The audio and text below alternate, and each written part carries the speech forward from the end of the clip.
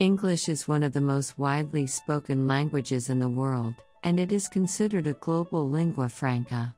As a result, learning English offers numerous benefits that can help individuals succeed in a rapidly globalizing world. In this essay, we will explore some of the key advantages of learning English. Firstly, English proficiency can improve employment prospects. Many multinational corporations require employees to have a high level of English proficiency, as it is often used as a common language for business communication. This means that those who are proficient in English have an advantage in the job market, as they are able to communicate effectively with colleagues and clients from around the world.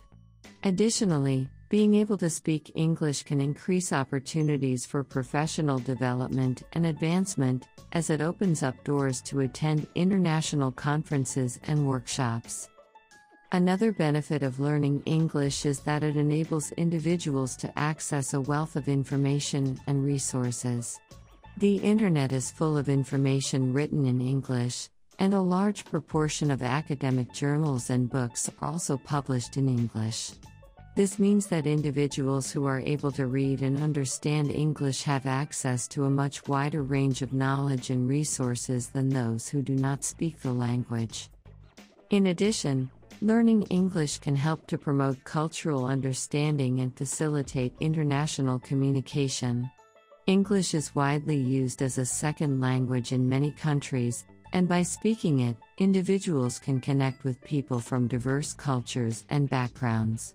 This can help to break down linguistic and cultural barriers and foster greater cross cultural understanding and collaboration. Moreover, learning English can also have cognitive benefits. Studies have shown that bilingualism and multilingualism can improve cognitive abilities such as problem solving, memory, and decision making. This is because being able to speak multiple languages requires the brain to constantly switch between languages and adapt to different linguistic rules and structures. This cognitive stimulation can have positive effects on overall brain function and cognitive development. In conclusion, learning English offers numerous benefits, both personal and professional. From improving employment prospects to promoting cultural understanding and facilitating international communication, English proficiency is a valuable asset in today's rapidly globalizing world. Whether for personal or professional reasons, the advantages of learning English make it a worthwhile investment for individuals of all ages and backgrounds.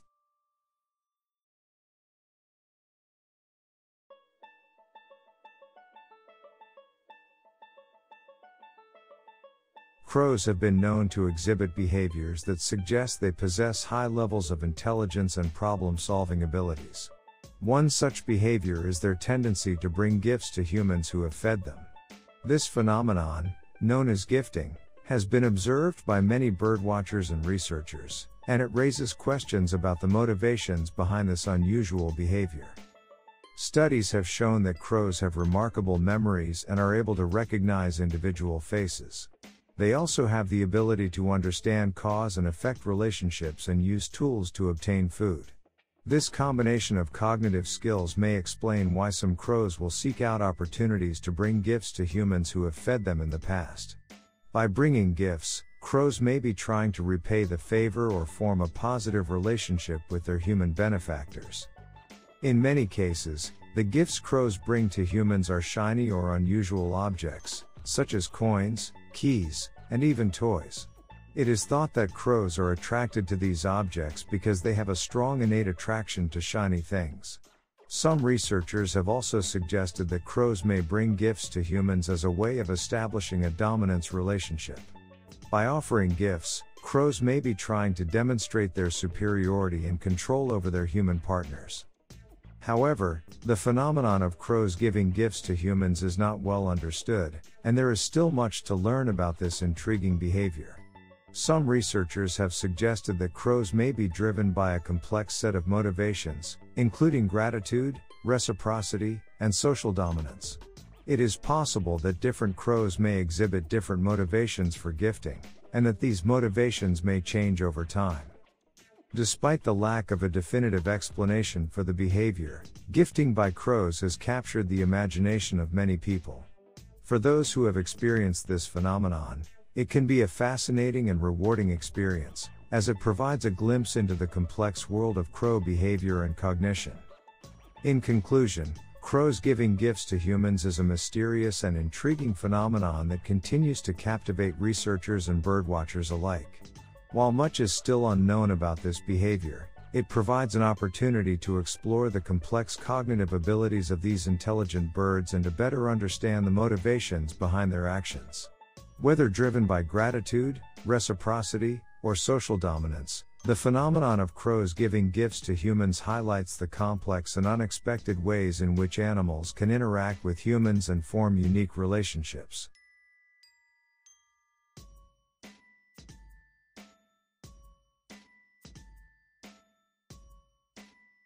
Household dust is a mixture of various particles that accumulate on surfaces in homes and other indoor environments.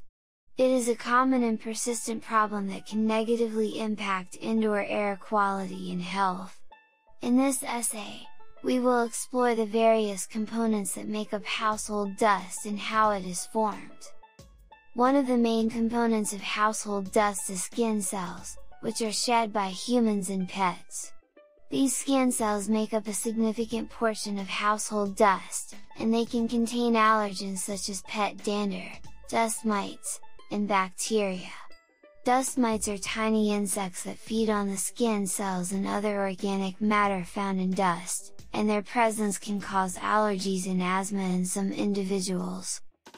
Another component of household dust is tiny particles of dirt, sand, and soil that are brought in from outside. These particles can accumulate on surfaces and in the air inside homes, and they can contain heavy metals and other contaminants that can negatively impact indoor air quality. Household dust can also contain fibers from textiles, such as carpet and upholstery, as well as particles of household chemicals and cleaning products. For example, Flame retardants used in furniture and electronics can break down over time and become part of household dust. These chemicals can be toxic and have negative effects on health if inhaled or ingested. In addition, household dust can also contain particles from building materials, such as paint, wood, and insulation. These particles can become airborne and contribute to indoor air pollution. The formation of household dust is the result of a number of different processes, including human and pet activity, air movement, and the breakdown of materials over time. For example, skin cells are constantly being shed by humans and pets, and they can accumulate on surfaces and in the air. Dust is also created when particles in the air settle on surfaces, and it can become airborne again when it is disturbed, for example by vacuuming or walking on a carpet. In conclusion, household dust is a complex mixture of various particles, including skin cells, dirt, fibers from textiles, chemicals, and building materials. Understanding the composition and formation of household dust is important for improving indoor air quality and reducing its negative impact on health. Regular cleaning and dusting, as well as the use of air purifiers, can help to reduce levels of household dust and improve indoor air quality.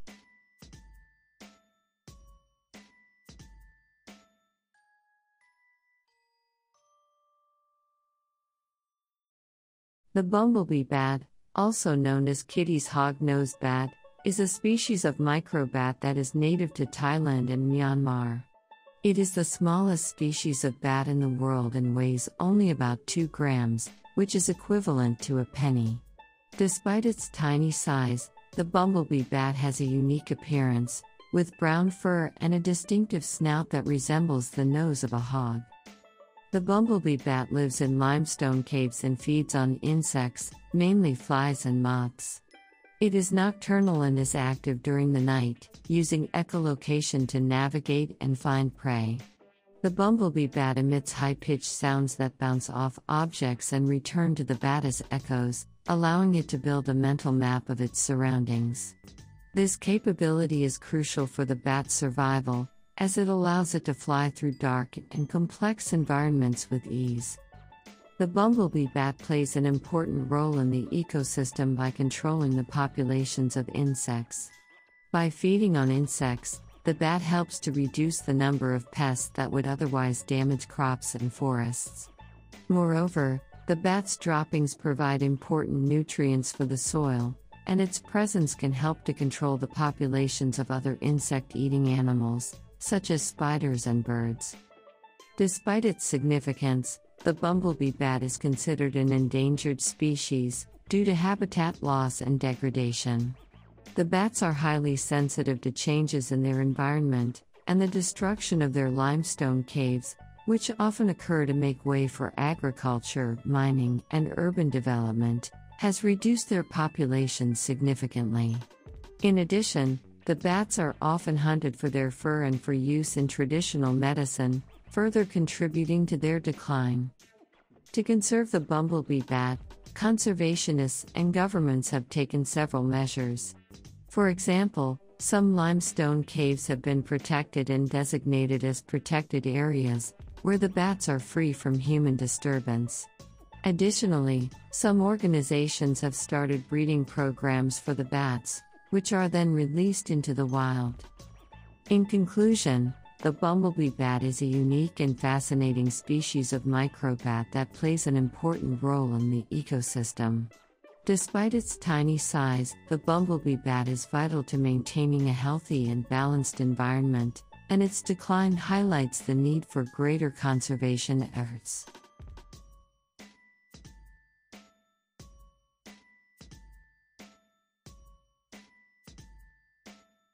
The world's first animated film, The Humorous Phases of Funny Faces, was released in 1906 and represented a significant turning point in the history of animation. This silent, black and white film was created by American cartoonist J. Stuart Blackton and is considered a groundbreaking work in the field of animation. Before the release of the humorous phases of Funny Faces, animation was limited to simple flipbook style drawings that gave the illusion of movement. Blackton's film marked the first time that animation was captured on film, and its popularity signaled the beginning of a new era of animated storytelling. The film itself was a series of short vignettes in which the faces of different characters were drawn and redrawn to change their expressions. The simplicity of the animation combined with the humor of the scenes made the humorous phases of Funny Faces a hit with audiences. The film's success encouraged other animators to explore the medium further and to develop new techniques for creating animated films. One of the biggest innovations of the humorous phases of Funny Faces was the use of stop motion animation. This technique involved taking a series of photographs of an object or character, each one slightly different from the previous, and then playing the photographs back in rapid succession to give the illusion of movement. This technique became a staple of early animation and was used in many of the first animated films. Despite its historical significance, the humorous phases of Funny Faces is largely forgotten today. This is partly due to the fact that many of the early animated films have been lost over time, and partly due to the fact that animation has evolved significantly since the film's release. However, the legacy of the humorous phases of Funny Faces continues to live on, as it represents a key moment in the history of animation and continues to inspire animators today. In conclusion, the humorous phases of Funny Faces represents a major milestone in the history of animation. The film's innovations, such as the use of stop motion and cel animation, paved the way for the development of other animation techniques and helped establish animation as a viable medium for storytelling. Although it is largely forgotten today, its impact continues to be felt and its legacy lives on as an important part of the history of animation.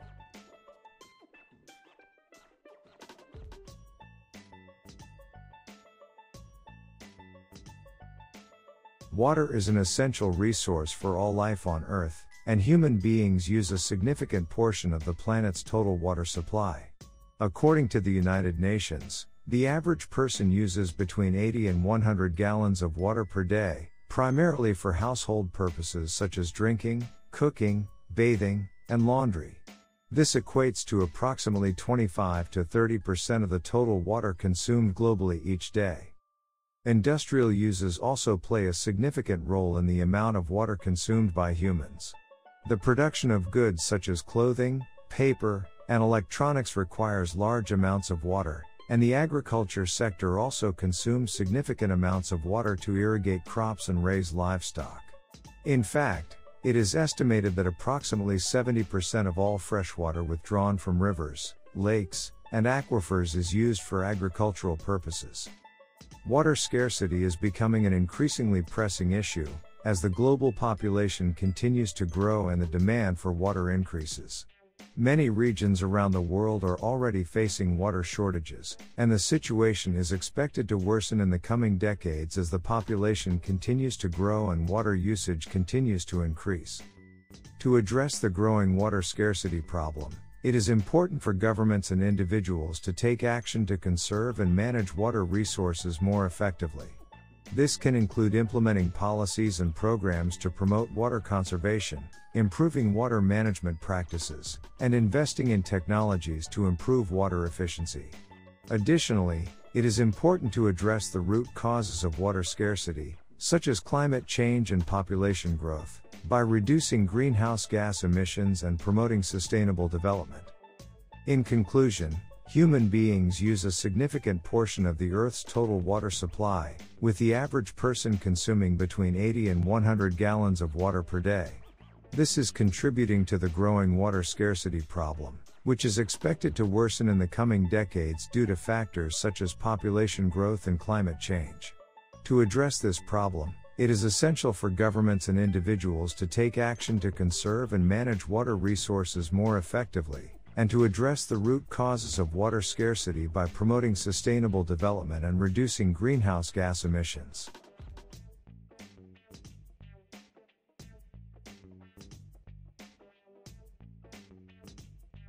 Throughout history, many people have used various substances to improve their physical appearance, including their skin. One of the more unusual and dangerous substances used for this purpose was arsenic. Arsenic is a toxic chemical that was once widely used in cosmetic products and medicines. Despite its toxic nature, people believe that consuming arsenic would help improve their skin by giving it a smooth and radiant appearance. Arsenic was used in many forms, including in the form of powders, pills, and even tonics. It was also commonly added to food and drinks as a means of ingestion. Some people even applied it directly to their skin as a beauty treatment. The belief in the skin enhancing properties of arsenic was so widespread that it became a popular ingredient in many cosmetics and beauty products of the time. However, it was soon discovered that consuming arsenic was not only dangerous, but also deadly. Chronic exposure to arsenic can lead to a wide range of health problems, including skin lesions, anemia, and cancer. Arsenic is also known to cause organ damage and can result in death. Despite this knowledge, people continue to use arsenic for cosmetic purposes for several more decades, often with disastrous results. In the late 19th and early 20th centuries, governments around the world began to regulate the use of arsenic in cosmetics and other products. The recognition of the dangers of arsenic consumption eventually led to stricter regulations and the eventual ban of the substance in many countries. Today, the use of arsenic in cosmetics is strictly prohibited and the substance is considered to be one of the most toxic chemicals in the world. Despite its dangers, the belief in the skin enhancing properties of arsenic persisted for many years and continues to be present in some cultures to this day. However, it is now widely recognized that the dangers of arsenic far outweigh any perceived benefits and that there are many safer and more effective alternatives available for improving the appearance of the skin. In conclusion, the use of arsenic as a means of improving the appearance of the skin was a dangerous and widespread practice throughout history. Despite its toxic nature, people believed in the skin enhancing properties of the substance and consumed it in various forms. Today, the use of arsenic in cosmetics and other products is strictly prohibited and the dangers of the substance are widely recognized.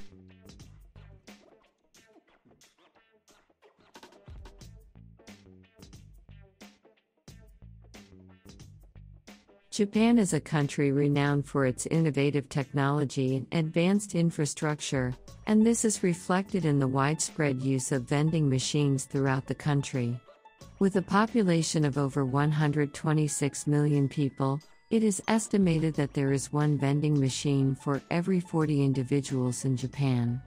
This means that there are over 3 million vending machines in the country, making it one of the highest vending machine to person ratios in the world. Vending machines can be found everywhere in Japan, from busy city streets to remote rural areas. They offer a wide range of products, including drinks, snacks, and even meals.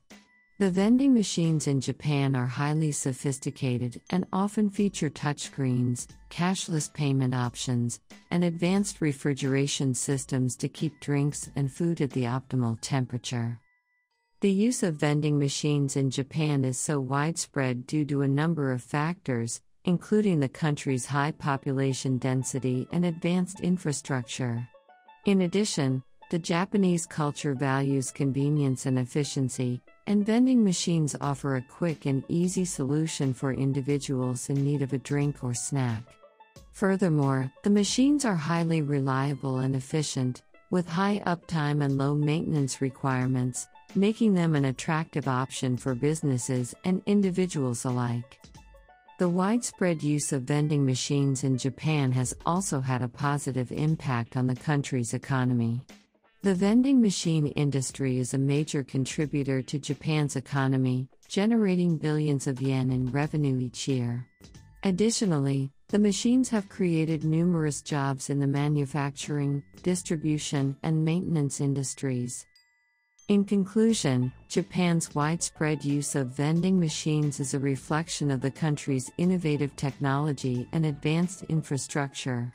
With one machine for every 40 people, the country has one of the highest vending machine to person ratios in the world. The machines offer a convenient and efficient solution for individuals in need of a drink or snack and have had a positive impact on the country's economy by generating billions of yen in revenue and creating numerous jobs.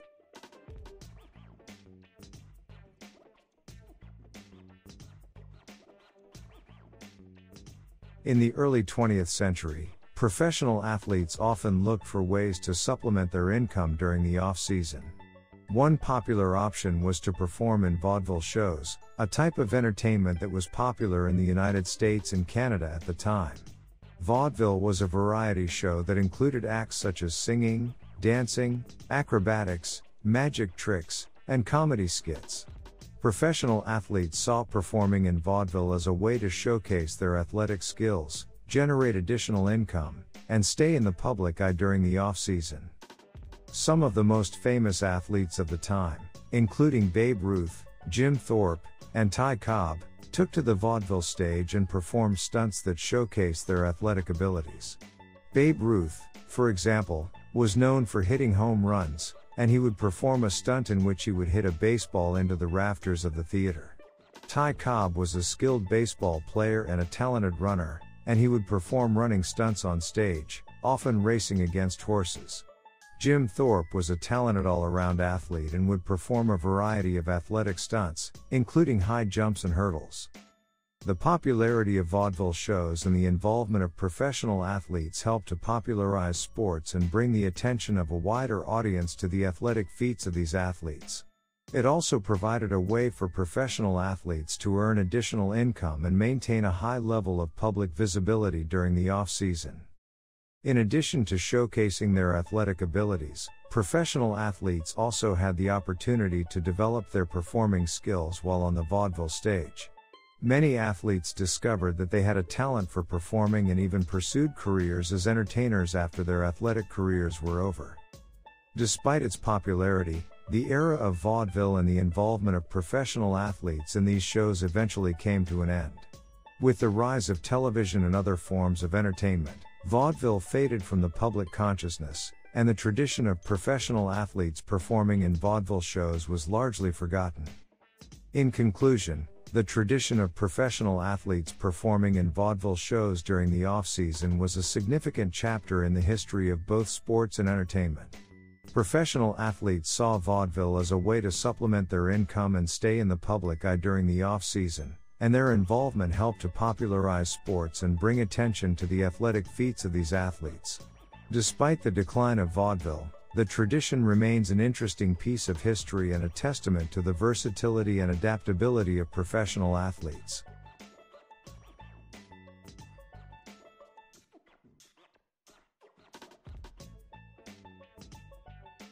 The world of fungi is a complex and fascinating one, and one of the most intriguing aspects of these organisms is their ability to manipulate other species.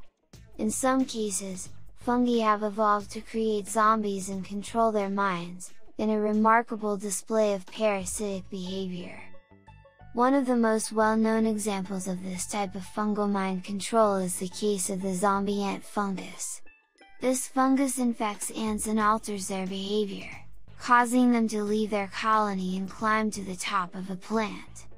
There, the fungus sprouts from the ant's head and releases its spores into the air to spread to other ants and continue the cycle of infection. Another example of fungal mind control can be seen in the relationship between certain fungi and termites. These fungi secrete chemicals that manipulate the termites, causing them to build special structures that promote the growth of the fungi. The termites are then unable to resist the urge to feed the fungi, and they eventually die, providing nourishment for the fungi to continue its growth. While the mechanisms behind fungal mind control are still being studied and understood, scientists believe that the fungi manipulate the nervous systems of their hosts by secreting chemicals that affect their behavior. This type of manipulation is not limited to insects, some fungi have also been observed controlling the behavior of other organisms, including snail and slugs. In addition to their mind-controlling abilities, fungi also play a crucial role in the ecosystem. They are decomposers, breaking down dead plant and animal matter and recycling nutrients back into the soil. They also form symbiotic relationships with other organisms, including trees, providing them with essential nutrients in exchange for carbon and other resources. Despite their importance in the ecosystem, the full extent of fungal abilities is still not well understood. The study of these fascinating organisms has been limited due to their complex and often hidden lifestyles, but with advances in technology and new research techniques, scientists are beginning to uncover the secrets of these fascinating creatures. In conclusion, the ability of some fungi to create zombies and control their minds is a remarkable example of the incredible diversity and complexity of the natural world. These interactions between fungi and their hosts highlight the ways in which different species can evolve and adapt to their environments, and they serve as a reminder of the intricate relationships that exist in nature.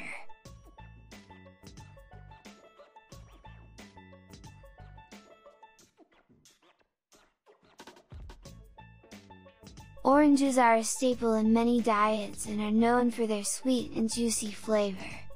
But what many people do not know is that the first oranges were not actually orange. In fact, the original oranges were green and sour, much different from the oranges we know today. The origin of oranges is believed to be in Southeast Asia, specifically in the region surrounding the Mekong River in China. These early oranges were small and sour, and were used primarily for cooking and for medicinal purposes. Over time, oranges made their way to other parts of Asia, and eventually to Europe and the Middle East, where they were cultivated and hybridized. As oranges were hybridized and grown in different regions, their appearance and flavor changed. This was due in part to the fact that different climates and soils caused the oranges to grow differently, and also due to selective breeding.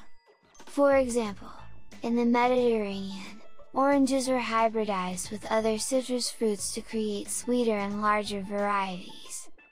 One of the most significant developments in the history of oranges was the creation of the sweet orange, which is a type of orange that most people are familiar with today. Sweet oranges were created through a process of crossbreeding between the pomelo and the mandarin orange. This hybridization created a sweeter, larger, and easier to peel orange that was much more palatable to the human palate. The sweet orange became extremely popular in Europe, and it was eventually brought to the Americas, where it quickly became one of the most important crops. Today, oranges are grown in warm climates all over the world, from Florida and California in the United States to South Africa, Brazil, and Australia. Despite the popularity of sweet oranges, the sour and bitter varieties of oranges are still grown and used in some regions of the world. These varieties are often used in traditional medicines, as well as in cooking and baking. In some regions, sour oranges are even used to make marmalade, which is a type of sweet spread that is popular in many countries. In conclusion, the journey of the orange from a small, sour fruit to the sweet and juicy fruit that we know today is a testament to the power of human ingenuity and the desire to create new and improved foods. From its origins in Southeast Asia to its widespread cultivation around the world, the orange is a true example of the way that human culture and agriculture can intersect and evolve over time.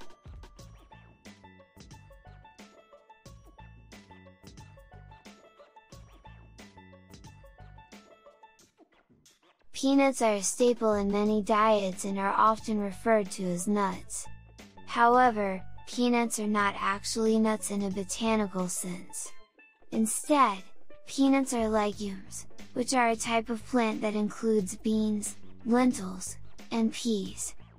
Peanuts are native to South America, where they have been cultivated for thousands of years. The peanuts that we eat today are a result of hybridization and selective breeding, which has created a larger and sweeter peanut. Over time, peanuts spread to other parts of the world and became a staple food in many cultures. One of the most interesting things about peanuts is their unique growing process.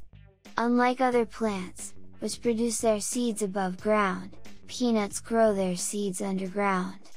This is because the flowers of the peanut plant produce seeds that mature underground. This characteristic makes peanuts distinct from other legumes and nuts. Peanuts are rich in healthy fats, protein, fiber, and various vitamins and minerals. They are also relatively low in calories, making them an excellent choice for those who are trying to maintain a healthy weight. Furthermore, peanuts contain resveratrol, a powerful antioxidant that is known to have anti-inflammatory properties. In addition to being a healthy snack food, Peanuts are also used in a variety of other ways. They are often roasted and salted for snacking, used in cooking and baking, and also used to make peanut butter, which is a popular spread that is used in many recipes. Peanut oil is also a popular ingredient in cooking and is often used as a healthier alternative to other oils. Despite their popularity and many health benefits, Peanuts can also cause allergies in some people. Peanut allergies are one of the most common food allergies, and they can cause serious reactions in some individuals. For this reason, it is important for those who are allergic to peanuts to avoid consuming them. In conclusion, peanuts are not actually nuts, but are instead legumes. Despite this, they are a staple in many diets and are enjoyed for their unique flavor and numerous health benefits.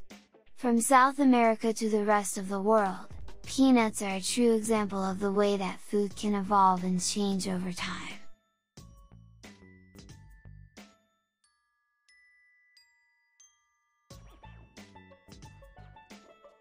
Armadillos are known for their distinctive shells, which have become a symbol of their hardiness and resilience. But what many people don't realize is that these shells are not only tough, they are also bulletproof to a certain extent. Armadillo shells are made of a combination of keratin and bony plates, which are stacked together to create a tough exterior.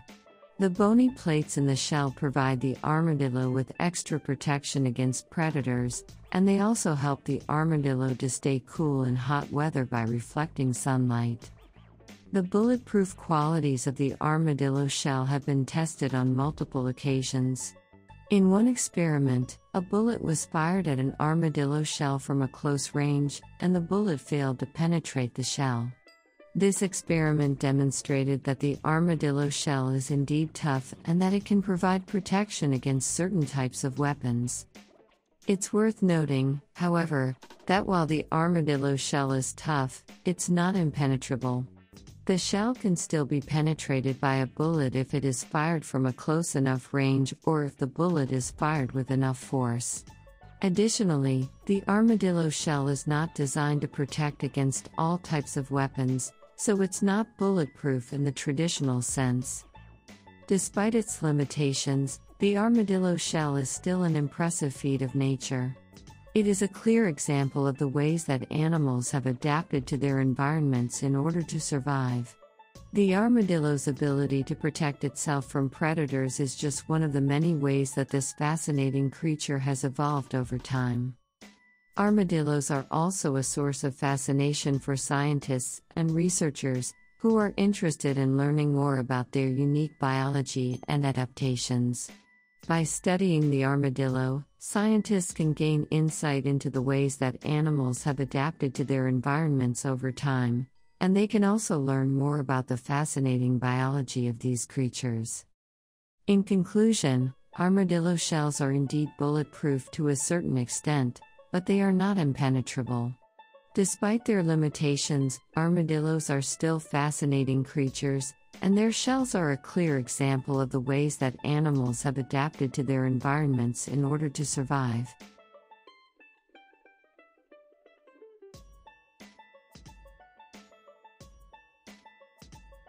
Firefighters are often called upon to put out fires in difficult and challenging circumstances, and one of the key tools in their arsenal is water. But simply using water to extinguish a fire is not always enough. In some cases, firefighters need to use a special type of water that is wetter and more effective than regular water. This special type of water is known as a wetting agent. Wetting agents are chemical substances that are added to water in order to increase its ability to penetrate and extinguish fires. These agents work by reducing the surface tension of the water, which makes it easier for the water to penetrate into materials such as wood, paper, and cloth. This is particularly important in the case of fires, where the fire is often fueled by these types of materials. There are several different types of wetting agents that firefighters can use, each with its own unique properties and characteristics. Some of the most common wetting agents include surfactants, which are substances that reduce the surface tension of water, and hydrophilic agents, which are substances that increase the ability of water to mix with other substances. One of the key benefits of using wetting agents is that they allow firefighters to use less water when putting out fires. This is important because it helps to conserve water resources and also reduces the amount of water damage that is caused to buildings and other structures. Additionally, wetting agents can also help to reduce the amount of runoff from firefighting operations, which helps to protect the environment. Another benefit of using wetting agents is that they can help to improve the safety of firefighters. By reducing the surface tension of the water, Wetting agents can make it easier for firefighters to move around and work in hazardous environments, such as in burning buildings. This can be especially important in situations where visibility is limited and the environment is highly dangerous. In conclusion, wetting agents are a vital tool for firefighters, helping them to put out fires more effectively and efficiently. These agents work by reducing the surface tension of water, making it easier for the water to penetrate into materials such as wood, paper, and cloth. Wetting agents also help to conserve water resources and reduce the amount of water damage caused by firefighting operations.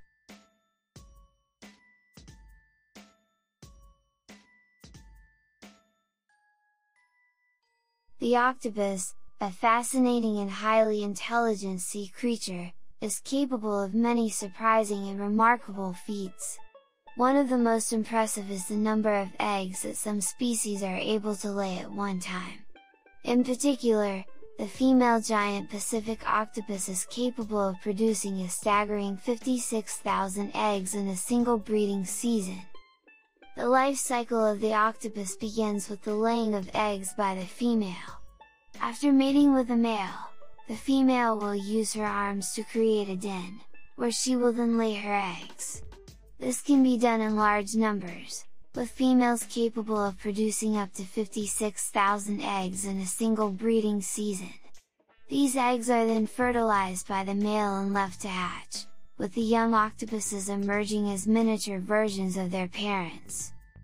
The large number of eggs produced by the female giant Pacific octopus is thought to be a survival mechanism, allowing the species to increase its chances of survival despite the many challenges that it faces in the wild. For example, many of the eggs may not hatch, or the young octopuses may fall prey to predators. However, the sheer number of eggs laid ensures that there will always be some that survive, ensuring the continuation of the species. Once the eggs have hatched, the young octopuses will begin to grow and mature, developing the many remarkable abilities that make the octopus such an intriguing and captivating creature. For example, some species are capable of rapidly changing color, shape, and texture to blend in with their surroundings and avoid predators. Others are capable of squirting ink to obscure the predator's vision and allow them to escape. And still others have the ability to use their arms to manipulate objects, opening jars and even playing with toys. The octopus is a highly adaptable creature that can be found in a wide range of environments, from the deep ocean to shallow, warm waters.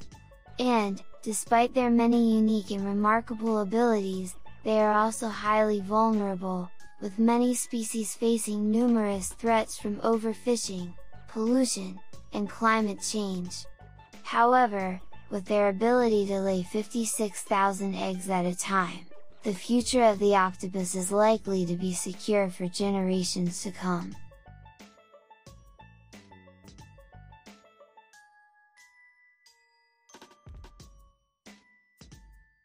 Cats, with their grace and agility, have long been a subject of fascination for humans. These fascinating creatures have a unique physical characteristic that sets them apart from many other animals they have fewer toes on their back paws. This phenomenon is known as polydactylism and it is a genetic variation that is found in some cats. The average cat has 18 toes, with 5 toes on each front paw and 4 toes on each hind paw.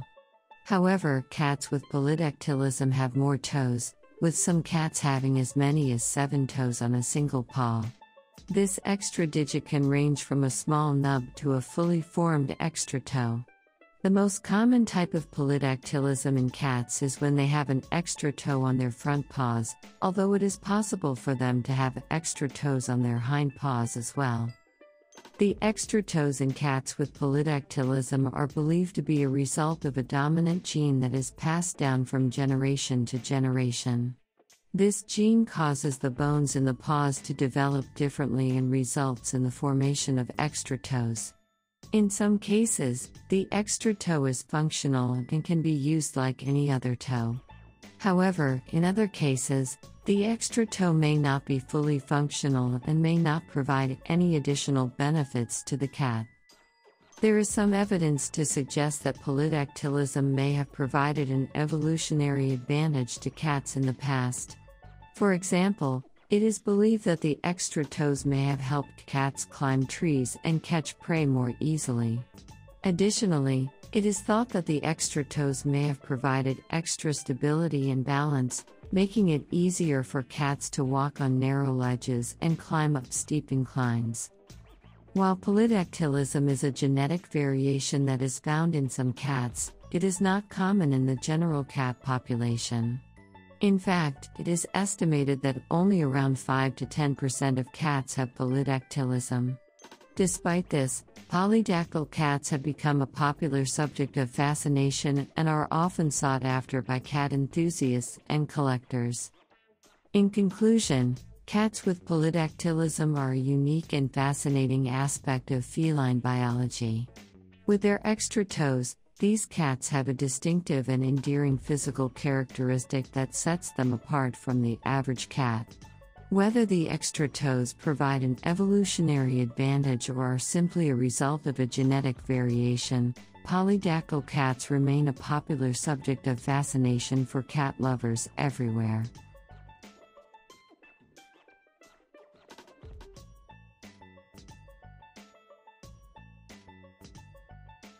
The blue whale, the largest mammal in the world, has a remarkable feeding habit. Unlike most mammals that hunt for small prey, blue whales consume large quantities of food in a single mouthful.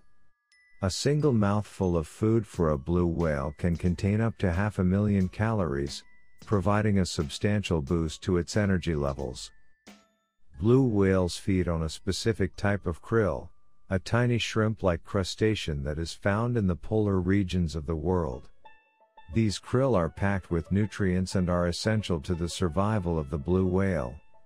During the feeding season, blue whales are known to consume up to 4 tons of krill each day, making them one of the largest consumers of food in the animal kingdom. The feeding process of blue whales is an incredible sight to behold. Blue whales first use their large mouths to scoop up a large quantity of krill and water. The whale then closes its mouth and pushes the water out through its baleen plates, which are similar to a comb and are located in the upper jaw. The baleen plates filter the water out, leaving the krill trapped in the whale's mouth.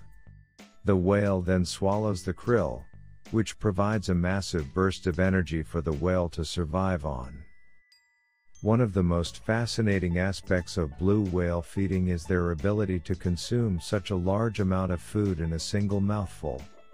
This is due to their enormous size, as blue whales can grow up to 100 feet long and weigh as much as 200 tons. Their mouth is so large that it can accommodate an entire school bus, making it one of the largest mouths in the animal kingdom.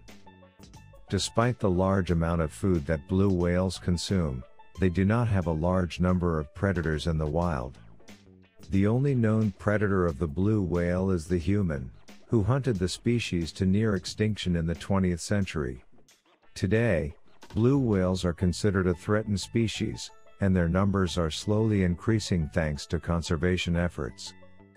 In conclusion, the blue whale's ability to consume half a million calories in a single mouthful is a remarkable feat that highlights the incredible adaptations of this species. As the largest mammal in the world, the blue whale plays a crucial role in maintaining the balance of the ocean's ecosystem and is a fascinating subject for scientists and animal lovers alike.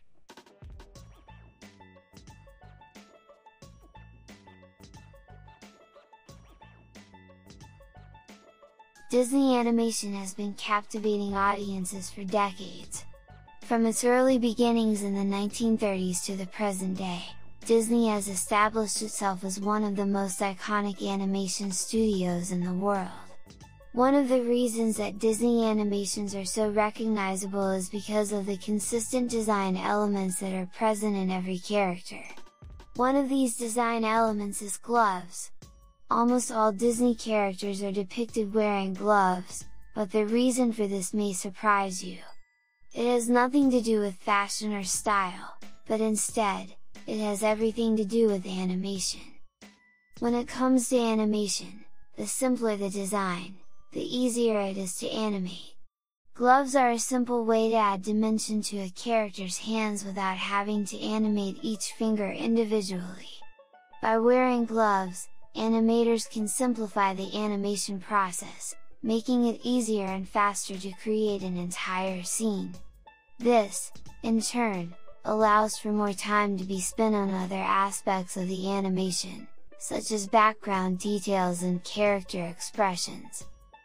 Another reason why gloves are so commonly used in Disney animation is because they add a level of uniformity to the characters. This uniformity makes it easier for audiences to identify each character and follow their actions in a scene. The gloves also help to distinguish the characters from each other, even if they are similar in other ways.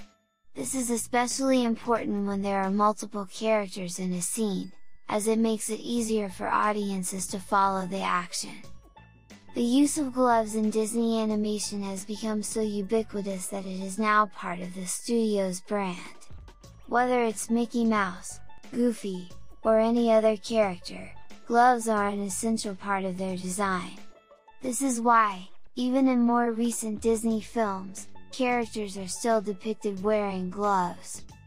In conclusion, the use of gloves in Disney animation is not just a design element, but a practical solution to make the animation process easier and more efficient. The gloves have become an iconic part of the Disney brand, and audiences have come to expect to see gloves on their favorite characters. By simplifying the animation process and creating a uniform look for the characters, gloves play a crucial role in the success of Disney animation.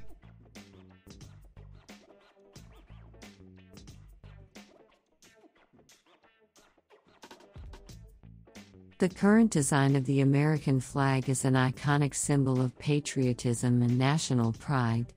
What many may not know is that this recognizable design was created by a high school student. In the late 1940s, a 17 year old student by the name of Robert G. Heft was assigned a project to create a new design for the American flag, this assignment came as a result of Alaska and Hawaii becoming the newest states in the United States, and the need for a new flag that would represent the growing nation. Robert Heft was a student at Lancaster High School in Ohio and was not particularly interested in the project, but saw it as a way to earn a good grade. He chose to design a flag that would have 50 stars, with five rows of six stars and four rows of five stars, and 13 stripes representing the original 13 colonies. Heft's design was influenced by the flag that had been used during the Civil War, but with an updated number of stars to reflect the growing number of states. After completing his design, Heft submitted it to his teacher, who graded it as a B. The teacher was not impressed with the design, but Heft was not deterred. He sent his design to the office of the Speaker of the House, who was in charge of overseeing the design and production of the American flag. The design was officially adopted by Congress on July 4, 1960, and has since become the current American flag we recognize today. Since the adoption of his design, Robert Heft has become a symbol of American ingenuity and determination. He used his imagination and creativity to create a new and iconic design for the American flag, which has become a symbol of hope, freedom, and patriotism for millions of people around the world. As a testament to his impact on American history, Robert Heft's flag design is displayed in the Smithsonian's National Museum of American History. Heft's story is a powerful reminder that even the smallest ideas can have a lasting impact on the world, and that anyone, regardless of age or background, can contribute to making history.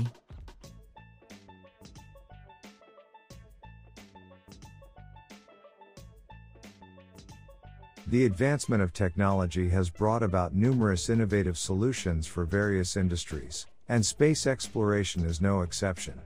One such innovation is the use of 3D printing in manufacturing tools and equipment for astronauts. This development has had a profound impact on the way NASA operates and has changed the course of space exploration. Before 3D printing, astronauts had to rely on ground support to provide them with any tools or equipment they needed while on their missions. This often led to delays and added a significant amount of time and resources to the overall mission. However, with the advent of 3D printing, NASA has found a new way to send tools to astronauts in space. The process works by using a digital design of the tool and printing it in space using a 3D printer. This has allowed NASA to save time and resources and has made it possible for astronauts to receive the tools they need in a matter of hours, rather than the days or weeks it would take for them to be sent from Earth. Another benefit of 3D printing in space is that it provides a solution for the issue of limited resources in space. This has been a problem for many years, as astronauts are limited to the amount of equipment and supplies they can bring with them on their missions. With 3D printing, astronauts can print the tools they need on demand, which reduces the need for large amounts of supplies to be brought with them and frees up space for other essential items. The benefits of 3D printing in space are not limited to just the astronauts and NASA. The technology has also had a significant impact on the manufacturing industry, as it has allowed companies to create products in a much more efficient manner. This has resulted in a significant reduction in production time and has made it possible to create products with greater precision.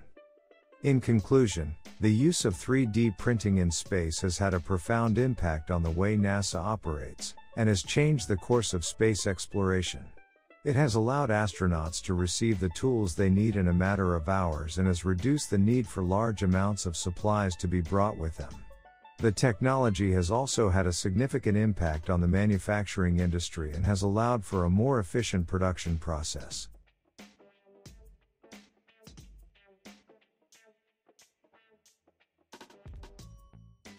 The Sahara Desert is one of the most iconic and well known deserts in the world. It is widely considered as a vast and inhospitable wasteland of sand and heat, but the reality is that only a quarter of the Sahara Desert is actually comprised of sand dunes.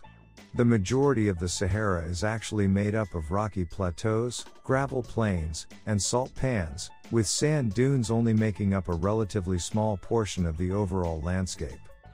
The sand dunes that are present in the Sahara are some of the largest and tallest in the world, and are typically found in the northern and central regions of the desert. These dunes can reach heights of up to 300 meters, and can stretch for hundreds of kilometers in some cases. The sand in the dunes is made up of particles of rock and mineral that have been eroded over time, and carried by the wind to their current location. While the sand dunes in the Sahara may look like a barren and inhospitable environment, they are home to a number of unique and adapted species of plants and animals.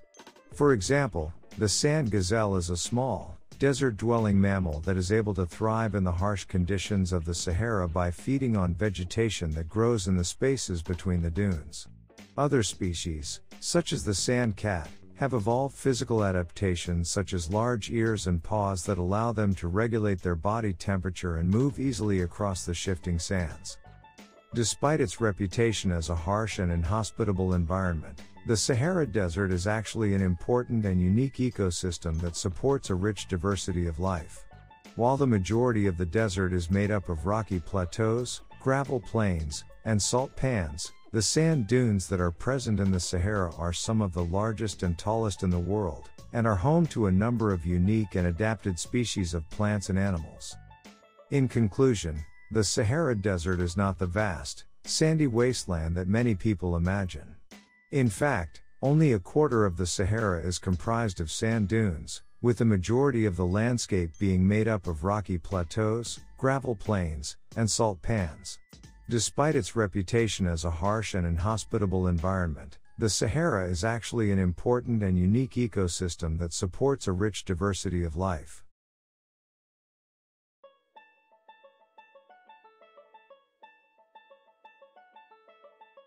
Volcanoes are geological wonders that are capable of shaping the landscape, influencing the atmosphere, and providing an avenue for scientific discovery. The presence of active volcanoes on the Moon, especially during the time when dinosaurs roamed the Earth, is a topic of much debate and speculation among scientists and researchers. While the exact nature of lunar volcanic activity remains uncertain, it is clear that this phenomenon had a significant impact on the Moon's surface and its environment. The Moon, like Earth, is believed to have undergone several stages of volcanic activity throughout its history. During the Hadean period, the Moon is thought to have been bombarded by massive impacts that caused its surface to melt, creating a magma ocean. Over time, this magma solidified, forming the Moon's crust and triggering volcanic eruptions that produced massive shield volcanoes and fissure eruptions. However, the question remains as to whether or not the Moon had active volcanoes during the time of the dinosaurs. The absence of a dense atmosphere and magnetic field on the Moon means that it has been subjected to a much greater amount of meteorite impacts over time than the Earth. This bombardment has erased much of the evidence of volcanic activity on the Moon's surface, making it difficult to determine with certainty whether or not it was active during the dinosaur era. One line of evidence that suggests that the Moon may have had active volcanoes during the time of the dinosaurs comes from the study of lunar samples collected by the Apollo missions. These samples contain high levels of isotopes that are indicative of volcanic activity, suggesting that the Moon was indeed volcanically active during the late heavy bombardment period.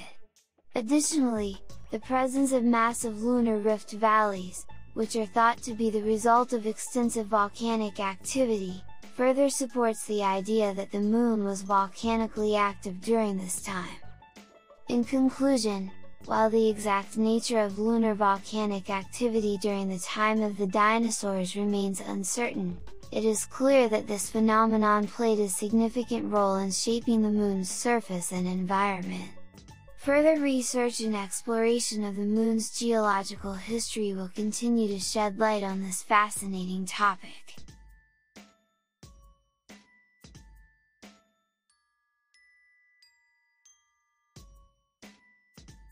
As we age, our bodies undergo numerous physical changes, some of which are more noticeable than others. One such change that many people may not be aware of is that our noses and ears tend to get bigger as we grow older. This phenomenon is a result of the aging process and can have both cosmetic and practical implications. The human nose and ear are made up of cartilage, which is a type of connective tissue that is not as dense or rigid as bone. Over time, the cartilage in our noses and ears begins to soften and lose its elasticity, which can cause them to grow in size. This process is particularly noticeable in the earlobes, which can become elongated and droop as a result of the aging process. In addition to the physical changes to the nose and ear, the skin surrounding these structures also begins to thin and sag, further exacerbating the appearance of their growth. This can lead to an imbalance in the facial features, resulting in a less youthful and more aged appearance. While the changes to the nose and ear may be cosmetic in nature, they can also have practical implications. For example, larger ears can be more susceptible to infections and irritations, as they may be more likely to come into contact with foreign objects. Additionally, changes to the nose can impact the sense of smell and affect the ability to taste. Despite these changes, there are ways to mitigate the effects of aging on the nose and ear. One approach is to use topical creams and lotions that contain retinoids, which can help to improve the elasticity and firmness of the skin. In addition, wearing an ear band when participating in activities that put the ears at risk, such as swimming or sleeping, can help to prevent infection and irritation. In conclusion, as we age, our noses and ears tend to grow in size due to changes in the cartilage and skin. While these changes may be cosmetic in nature, they can also have practical implications and may require corrective action. By using topical creams, wearing protective gear, and considering cosmetic surgery in severe cases, individuals can help to mitigate the effects of aging on their noses and ears.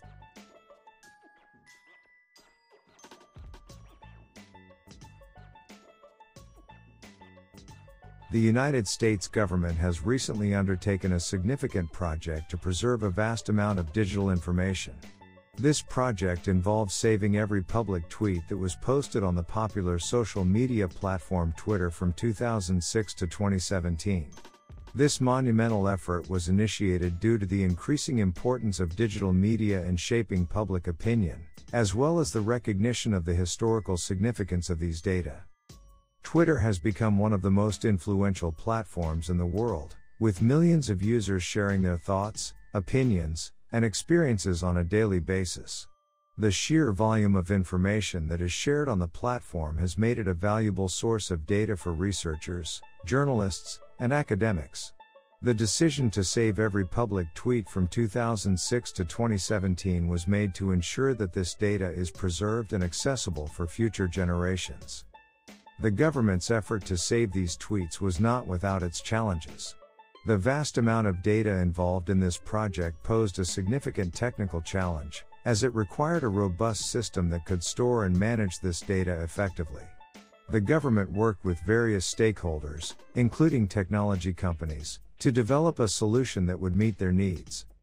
The result of this project is a massive archive of tweets that provides a wealth of information about the events, opinions, and experiences of people from around the world. This data can be used to study a wide range of topics, from political movements to cultural trends. Researchers can use this data to analyze public opinion on specific issues, track the spread of misinformation, and even study the impact of social media on society. In addition to its practical applications, the archive of tweets is also of great historical significance. It provides a unique glimpse into the experiences of people from around the world during a critical period in history. This data can be used to study the evolution of social media and its impact on society, as well as provide insights into how people responded to major events such as natural disasters, political elections, and acts of terrorism. The U.S government's effort to save every public tweet from 2006 to 2017 is a significant milestone in the preservation of digital information. It represents a recognition of the importance of this data and a commitment to ensuring that it is accessible for future generations.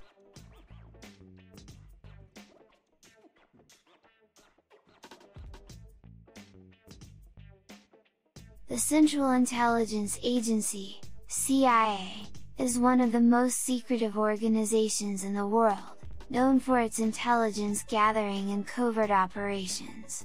Despite its reputation for being a highly secure and classified institution, the CIA headquarters in Langley, Virginia, is home to a surprising feature, a Starbucks. The Starbucks in the CIA headquarters is like any other Starbucks you might find in a shopping mall or on a street corner with one key exception, the baristas don't write names on the cups. This is a security measure to protect the identities of CIA employees who frequent the coffee shop. The Starbucks at the CIA headquarters is not open to the general public and can only be accessed by employees of the agency. Despite the limited clientele, it still serves a variety of coffee drinks, pastries, and snacks. It also features the iconic green and white Starbucks logo, making it a familiar and welcoming spot for employees who need a break from their demanding work. The Starbucks in the CIA headquarters is a testament to the importance of small comforts and routine in the lives of those who work in high-stress environments. For many employees, Grabbing a cup of coffee from the local Starbucks is a daily ritual that provides a moment of respite from the high stakes and intense nature of their work. While the lack of names on the cups may seem like a minor detail, it speaks to the level of security and secrecy that is necessary in the CIA. By keeping the names of employees off their cups, the agency can ensure that sensitive information is not disclosed or compromised. The presence of a Starbucks in the CIA headquarters also highlights the changing nature of the modern workplace. Gone are the days of bland, utilitarian break rooms with vending machines and instant coffee. Today, employers are investing in the well-being of their employees by providing them with amenities like coffee shops, gyms, and other comfort-oriented spaces. In conclusion, the Starbucks in the CIA headquarters is a unique and unexpected feature of one of the most secretive organizations in the world. While it may seem incongruous for a highly secure and classified institution to have a coffee shop, it is a testament to the importance of small comforts and routine in the lives of those who work in high stress environments.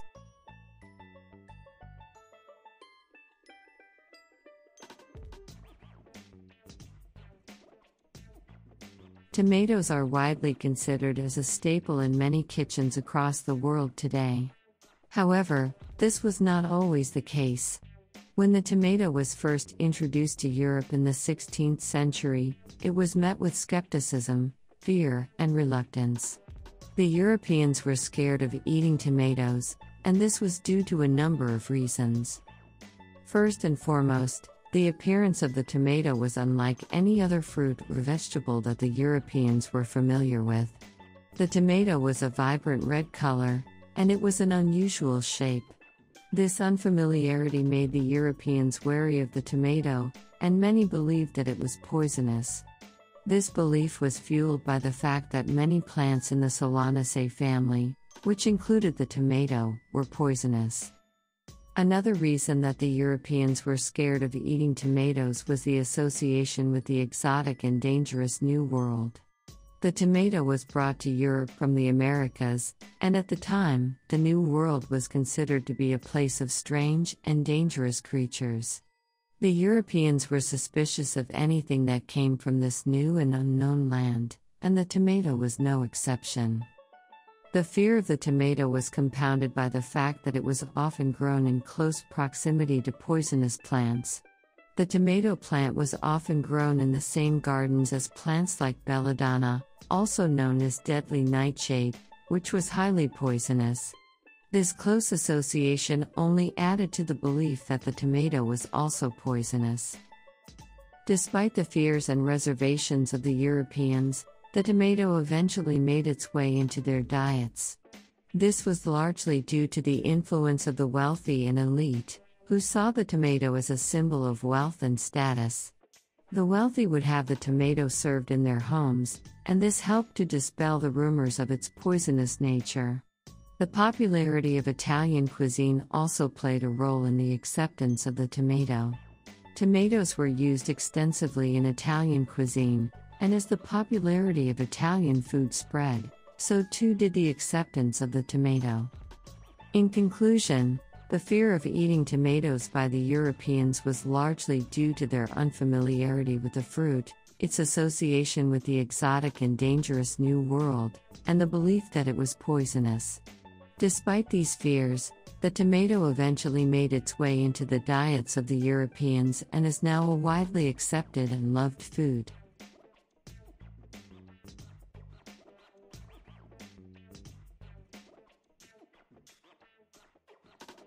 Dreaming is a complex and fascinating phenomenon that has been studied by scientists and psychologists for many years.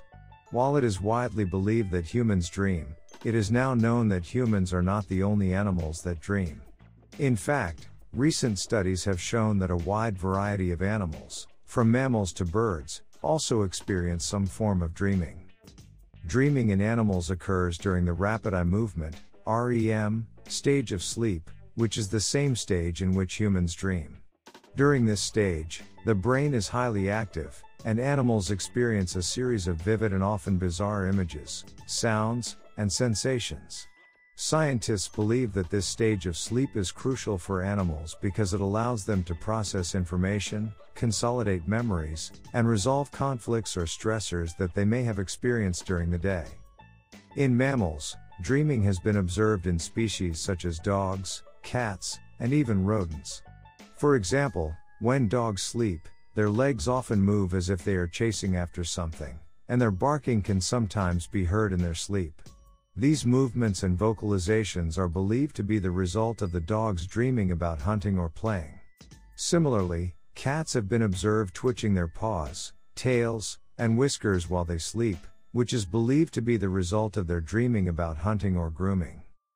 Birds also dream, and their dreams are often quite complex. For example, studies have shown that birds have different types of REM sleep, and that during this stage, they experience vivid and sometimes intricate dreams. For instance, when birds dream, they may experience flights or other aerial movements, and they may even dream about singing or mating behaviors. Some species of birds, such as the zebra finch, have even been observed dreaming about their specific songs. It is important to note that while the phenomenon of dreaming in animals is similar to that in humans, the content and meaning of these dreams may be vastly different. Despite this difference, the discovery of dreaming in animals has provided valuable insights into the nature of sleep and the function of the brain, and has helped to deepen our understanding of the relationship between sleep, dreaming, and consciousness in both humans and animals.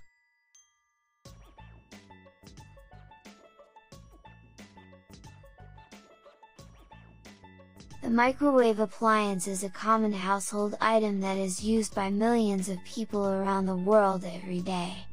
Despite its widespread use and importance in the modern kitchen, the inventor of this innovative device received very little recognition or compensation for his groundbreaking discovery. The microwave appliance was invented by Percy Spencer, a self-taught engineer who was working for the Raytheon Corporation during World War II. Spencer was working on a radar system when he noticed that a candy bar in his pocket had melted. This unexpected event led him to investigate the effect of microwaves on food, and he soon discovered that they could be used to cook food quickly and efficiently. In 1945, Spencer filed a patent for the first microwave oven, which he called the Radarange. Despite its innovative design and potential for revolutionizing the food industry, Spencer received only $2 for his invention, which was later sold to the Tappan Stove Company for a small sum. In the years that followed, the microwave oven became one of the most popular and widely used appliances in the world, but Spencer himself received little recognition or compensation for his groundbreaking discovery. It is important to note that Spencer's lack of compensation was not due to a lack of effort on his part. He was an astute and persistent inventor who filed numerous patents and worked tirelessly to promote his invention. However, he was operating in an era when the value of intellectual property was not widely understood, and many of the benefits of his invention were reaped by others. The story of Percy Spencer and his invention of the microwave oven serves as a reminder of the importance of valuing and protecting intellectual property. Spencer was a visionary and a true innovator who transformed the food industry with his groundbreaking discovery. Despite this, he received only a fraction of the value that his invention generated for others. This highlights the need for a more equitable and just system that recognizes and compensates inventors for their contributions to society.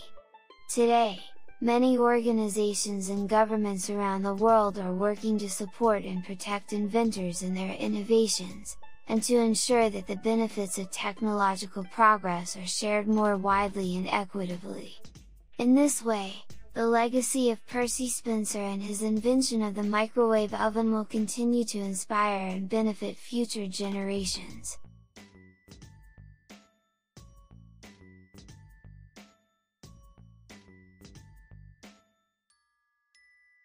Medical errors have been identified as a leading cause of death and injury in the healthcare industry. Despite advances in medical technology and the tireless efforts of healthcare professionals, medical errors continue to occur at alarmingly high rates, causing significant harm and loss of life. According to recent studies, medical errors are estimated to cause between 210,000 and 440,000 deaths each year in the United States alone, making them the third leading cause of death surpassed only by heart disease and cancer.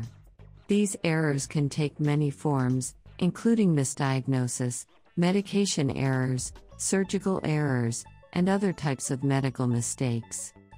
The causes of medical errors are complex and multifaceted, and include a range of factors such as poor communication among healthcare providers, lack of standardization in medical practices and procedures, and inadequate training and education. In many cases, these errors are the result of systemic problems in the healthcare system, including insufficient staffing, lack of resources, and poor coordination among healthcare providers. In addition to causing significant harm to patients, medical errors also have a profound economic impact, resulting in billions of dollars in healthcare costs and lost productivity each year. The human toll of medical errors is incalculable, causing immense suffering, distress, and loss of life to patients and their families. Despite the efforts to reduce the occurrence of medical errors, much work remains to be done. To ensure that patients receive safe and effective care, it is essential that healthcare providers, policymakers, and the public work together to create a culture of safety and quality within the healthcare industry. This requires a sustained and concerted effort to identify and address the root causes of medical errors, and to implement effective strategies and solutions to prevent them from occurring. By working together and taking a comprehensive and multifaceted approach to medical errors, we can help to ensure that the healthcare industry is able to deliver the safe, effective, and high quality care that patients need and deserve. Despite the devastating consequences of medical errors, there is a growing recognition of the need for increased focus and attention on patient safety and quality in the healthcare industry. This includes a range of efforts to prevent and reduce the occurrence of medical errors, such as improved training and education for healthcare providers, better coordination and communication among healthcare teams, and the development of new technologies and tools to support patient safety.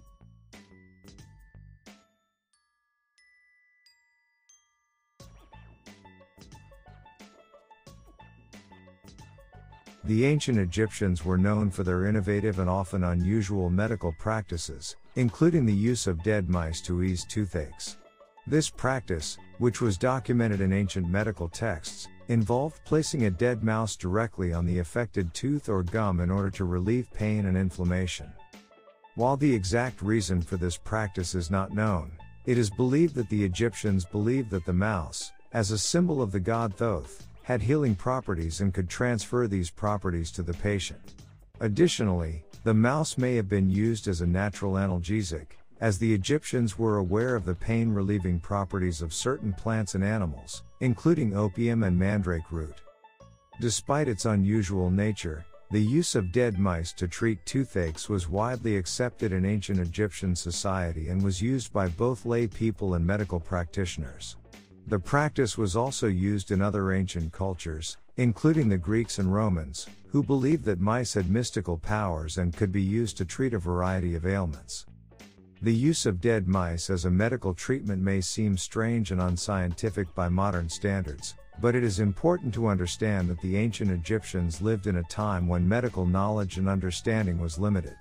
The use of dead mice to treat toothaches was one of many medical practices that the Egyptians used to try and alleviate pain and suffering, and their efforts to find new and innovative ways to improve health and well being are a testament to their ingenuity and resourcefulness. It is important to note that while the use of dead mice to treat toothaches may seem strange and unscientific, the ancient Egyptians made significant contributions to the field of medicine and their practices helped lay the foundation for future advancements. They developed a system of medicine that was based on a holistic approach and incorporated the use of herbs, plants, and other natural remedies to treat illness. The ancient Egyptians also made significant contributions to anatomy and surgery, and they were among the first to perform mummification, which gave them a unique understanding of the human body. While their use of dead mice may seem strange, it is a testament to their ingenuity and resourcefulness and a reminder of the important role that medicine played in ancient Egyptian society.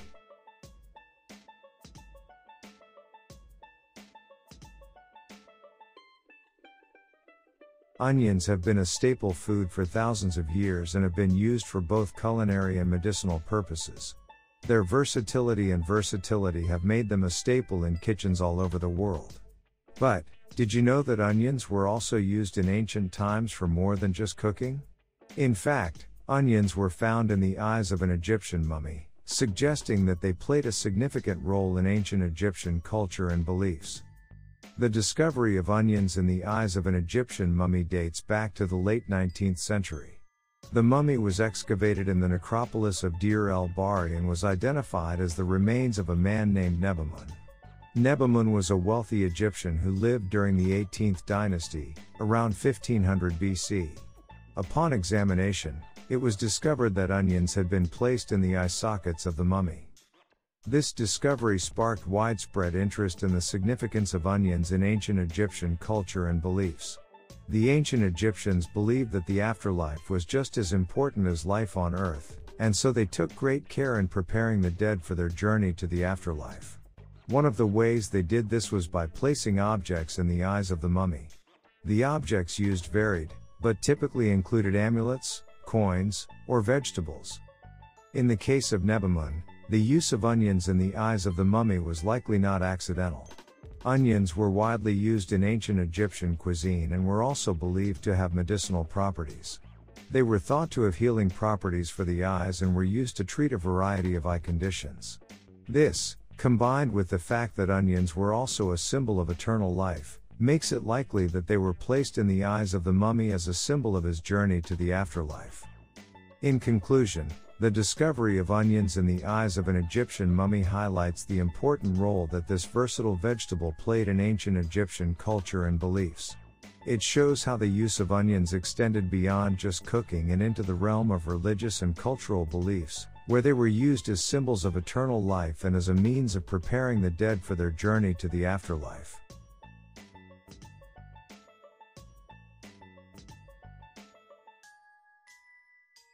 Japan has always been known for its unique and innovative confectionery creations, and the latest addition to its list of interesting sweets is the sushi-inspired Kit Kats. The Kit Kat brand, which was originally created in the United Kingdom, has become a global phenomenon, with different countries introducing their own unique flavors and twists to the classic chocolate wafer bar. The sushi-inspired Kit Kats were first introduced in Japan in 2016 and have since become a popular item among tourists visiting the country. These Kit Kats are made to look like sushi rolls, with each piece being wrapped in edible rice paper, similar to the traditional Japanese dish. The flavors offered include salmon, tuna, and egg, each of which is designed to replicate the taste of their respective sushi counterparts. The flavors are achieved through the use of natural ingredients, such as real salmon and tuna, combined with other ingredients such as soy sauce and vinegar. The sushi-inspired Kit Kats are also gluten-free, making them suitable for those with gluten intolerances. The popularity of these unique Kit Kats has led to a rise in demand for other sushi-inspired confectionery items, with many companies releasing similar products in an attempt to capitalize on the trend. However, the original sushi-inspired Kit Kats are still considered to be the best by many, with fans of the product praising its accurate replication of the flavors found in sushi rolls. In addition to their unique flavor, the sushi-inspired Kit Kats have also become popular due to their interesting appearance. The rice paper wrapping and the edible nori seaweed used to hold the Kit Kat pieces together add to the overall aesthetic appeal of the product. The unique appearance and flavors of the sushi-inspired Kit Kats have also made them a popular gift item, with many people buying them as souvenirs to bring back to their friends and family. In fact, the demand for these Kit Kats has been so high that there have been reports of tourists waiting in long lines just to purchase a pack. The high demand for these Kit Kats has also led to a thriving black market, with counterfeit products being sold at inflated prices to unsuspecting tourists. Overall, the sushi-inspired Kit Kats have become a true symbol of Japan's innovative confectionery creations and have helped to further cement the country's reputation as a leader in the confectionery industry.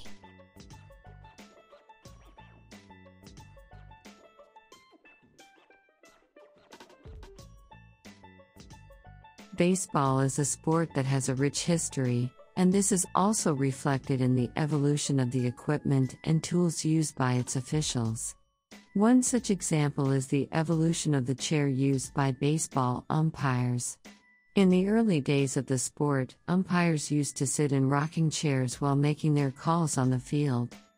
The rocking chairs were introduced in the late 1800s and were seen as a practical solution for umpires, who often had to stand for hours at a time during games. The rocking chairs allowed umpires to take a break from standing, while still maintaining a good view of the field. The chairs were also designed with the intention of being portable and easily moved from one location to another, as baseball games were often played on makeshift fields and didn't have permanent structures. The rocking chairs quickly became a symbol of baseball and were a common sight at games. They were often used by umpires as a form of relaxation between innings, and were even sometimes used as a place to socialize and chat with other umpires. Despite their popularity, the rocking chairs were eventually phased out in the early 20th century as permanent stadiums were built and more modern equipment was introduced. Today, baseball umpires use collapsible chairs or stools, which are more practical and easier to transport than the old rocking chairs.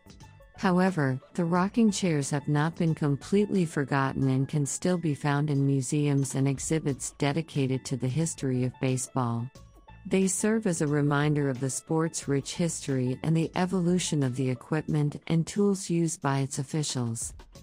In conclusion, the rocking chairs used by baseball umpires in the late 1800s were a unique and interesting aspect of the sport's history.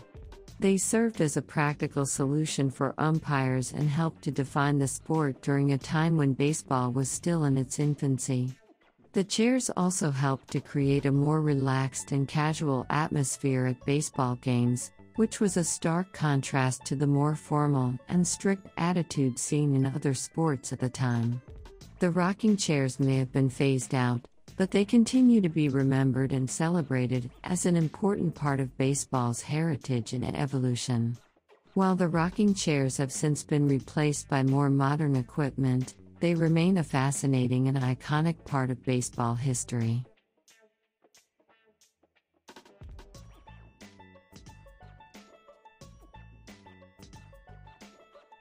The world of literature has a rich and diverse history, with countless works of fiction and nonfiction having been written over the centuries. However, one novel in particular stands out for its unique ending. The world's first novel, The Tale of Genji, written by the Japanese noblewoman Murasaki Shikibu in the early 11th century, ends mid sentence, leaving readers with a sense of unfinished business. The Tale of Genji is considered to be one of the greatest works of Japanese literature and is often referred to as the world's first novel due to its complex and detailed storytelling, character development, and the use of narrative techniques that were not commonly seen in earlier works of literature. The novel is a semi autobiographical account of the life of a nobleman named Genji and his relationships with various women. Despite its groundbreaking status, the novel's ending has long been a subject of debate and speculation among literary scholars and fans alike. The text abruptly cuts off in the middle of a sentence, leaving readers with an unresolved plot line and a sense of frustration. It is believed that the author, Murasaki Shikibu, may have died before completing the novel or that the original text has been lost over time. The ending of the tale of Genji has also led to a number of theories about the author's intended direction for the story. Some scholars believe that the mid sentence ending may have been a deliberate choice, meant to encourage readers to imagine their own conclusion to the story. Others have suggested that the author may have been deliberately leaving the story open ended to allow for multiple interpretations and meanings.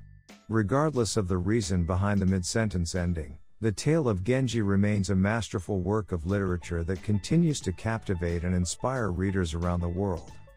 Whatever the reason for the unfinished ending, The Tale of Genji remains an important and influential work of literature. It has inspired countless other works of fiction, including novels, plays, and films, and continues to be widely read and studied today. The novel's unique ending has also contributed to its enduring appeal and has helped to spark discussion and debate about the nature of storytelling and the role of the author. In conclusion, The Tale of Genji is a truly remarkable work of literature that has stood the test of time. Its groundbreaking style and storytelling techniques have made it a classic, and its unfinished ending has only added to its mystique and appeal. The world's first novel may have ended mid sentence, but its impact on the world of literature is far from finished.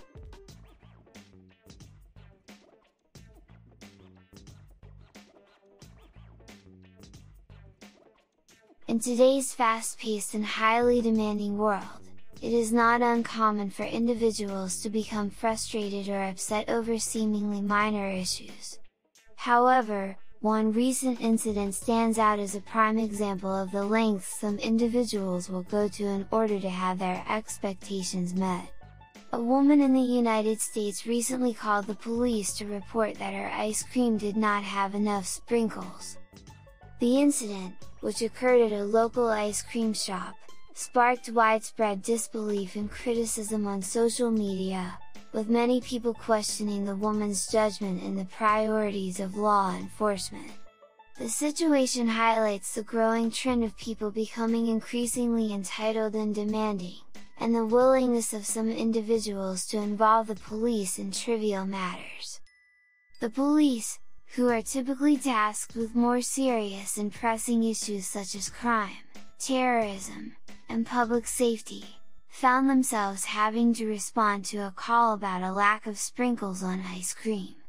The incident raises important questions about the role of the police in the use of their resources, as well as the larger issue of entitlement and the expectations of customer service.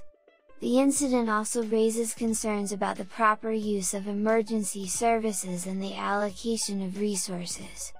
While the police are equipped to handle a wide range of situations, it is important that they are not bogged down by trivial matters that could be addressed through other means.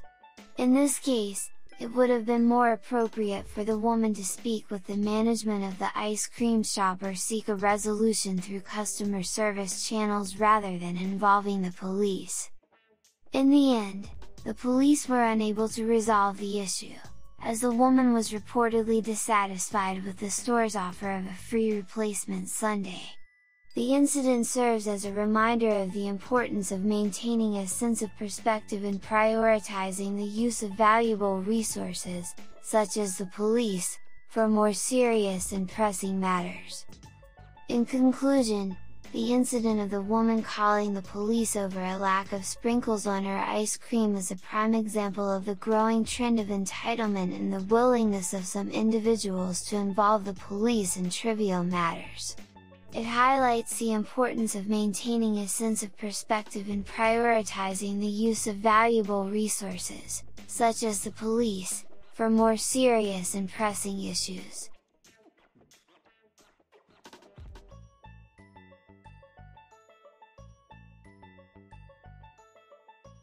The British Empire was one of the most expansive and influential empires in world history, stretching across multiple continents and influencing the development of numerous countries and cultures.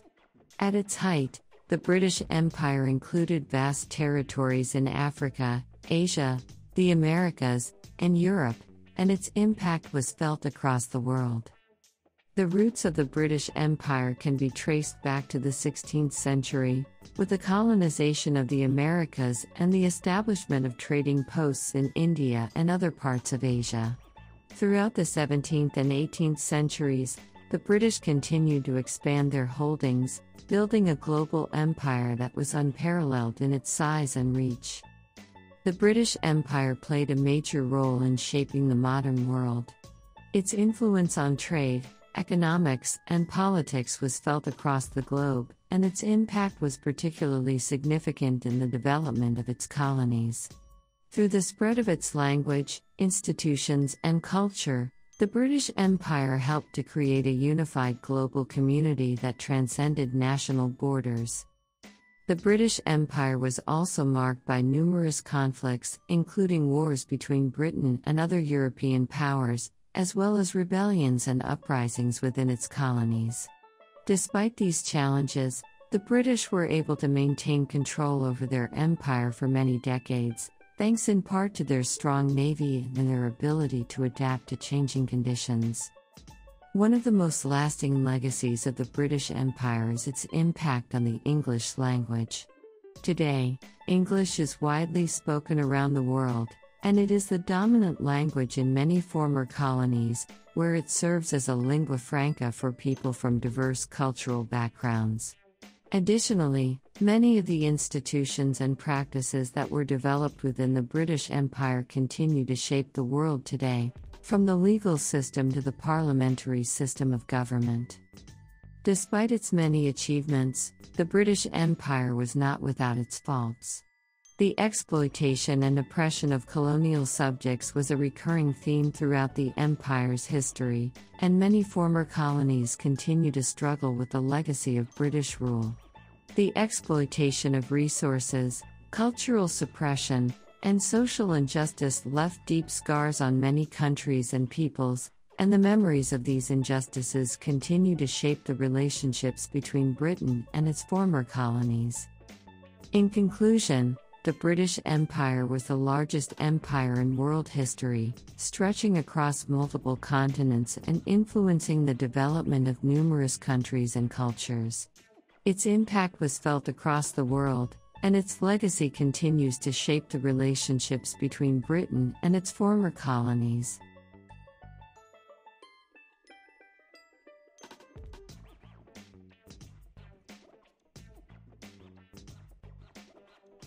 Thomas Edison, the inventor of the light bulb and the phonograph, played a significant role in shaping the world as we know it today. While it may seem far fetched to associate the man who lit up the world with the enjoyment of cat videos, it is actually quite accurate. Edison's contributions to the field of technology set the stage for the development of modern communication and entertainment. The phonograph, his most famous invention, was the first machine capable of reproducing sound recordings, laying the foundation for the modern music industry. In addition, the invention of the motion picture camera by Edison's assistant, William Kennedy Dickson, marked the beginning of the film industry. Thomas Edison was also a visionary and a pioneer in his field. He held over 1,000 patents and his innovations revolutionized the way people live and work.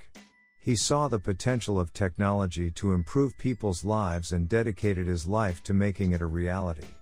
His legacy lives on in the numerous advancements in technology that we continue to see today, including the widespread use of cat videos. The advancements in technology brought about by Edison allowed for the creation and dissemination of various forms of media, including the Internet.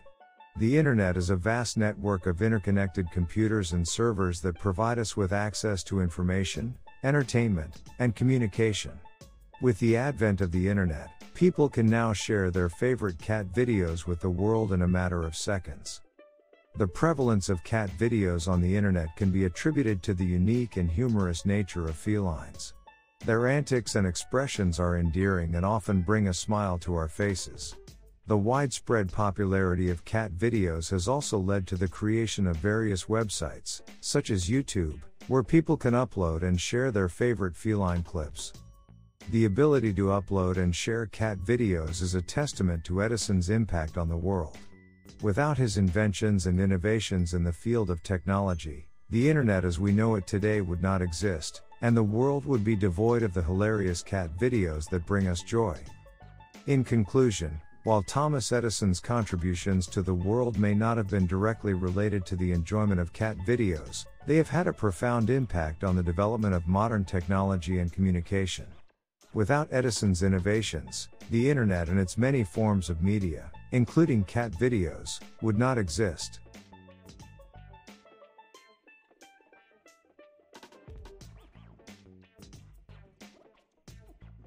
Bees known for their ability to produce honey, are also capable of making colored honey. This fascinating phenomenon is the result of the nectar that the bees collect and use to make honey. While all honey starts out as colorless nectar, it can take on different hues depending on the type of flowers the bees gather nectar from. The color of honey can range from nearly colorless to dark brown and everything in between. Light colored honeys, such as acacia and clover, are typically mild in flavor and are used as a sweetener in cooking and baking. Dark colored honeys, such as buckwheat and eucalyptus, have a stronger, more robust flavor and are often used in marinades, sauces, and glazes. The color of honey is also an indicator of its flavor and aroma. For example, orange blossom honey is light in color and has a sweet, floral aroma, while dark buckwheat honey has a strong, bold flavor and a robust aroma. The variety of colors and flavors of honey makes it a versatile ingredient in cooking and baking. The process of making colored honey starts with the nectar that the bees collect from flowers. When the bees collect nectar, they add enzymes to it, which breaks down the complex sugars into simple sugars. They then store the nectar in honeycomb cells, where it begins to evaporate and thicken into honey. As the nectar is transformed into honey, it can take on color and flavor from the flowers the bees collected nectar from. The concentration of the nectar and the type of flower it was collected from can both affect the final color and flavor of the honey. The color of the honey can also change over time, becoming darker as it ages. In addition to its color and flavor, Honey also has numerous health benefits. It contains antioxidants, antibacterial properties, and has been shown to boost immune function. These health benefits make honey a valuable addition to a healthy diet. Whether it is used in cooking, baking, or simply enjoyed on its own, the versatility and benefits of honey make it a staple in kitchens all over the world. In conclusion, the ability of bees to make colored honey is a testament to their remarkable abilities. The different hues and flavors of honey are a result of the nectar the bees collect in the process of transforming it into honey. The variety of colors and flavors of honey makes it a versatile ingredient in cooking and baking, adding depth and complexity to a wide range of dishes.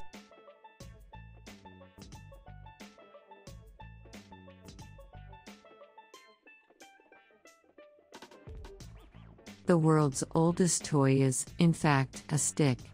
While it may seem unremarkable, the stick has been a source of imaginative play and entertainment for thousands of years. Dating back to prehistoric times, sticks have been used by children and adults alike to engage in imaginative play and to pass the time. The simplicity of the stick has made it a timeless toy that has stood the test of time. It requires no batteries, no electricity, and no instructions. All it requires is a little bit of imagination. Children have used sticks to create swords, magic wands, and even animals. Adults have used sticks to create musical instruments and tools for hunting and gathering. The stick's versatility is what has made it a popular toy for generations. It can be used for imaginative play, physical activity, and creative expression.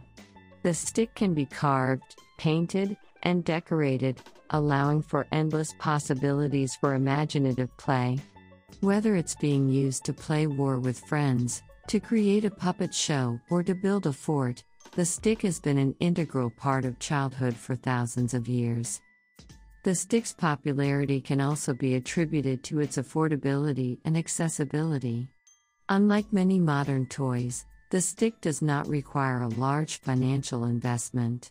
It can be found in most parks and wooded areas, and it's easy to obtain.